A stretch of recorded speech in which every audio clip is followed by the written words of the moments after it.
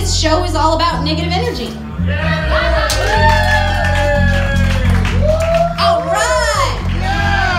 I'm never gonna get off this stage. Punk rockers love negative energy. All right. Thank you all. I'm Lolly. I'll see you all next week at the show. And um, if you're around and, and available to fill in, let me know because probably we'll lose people.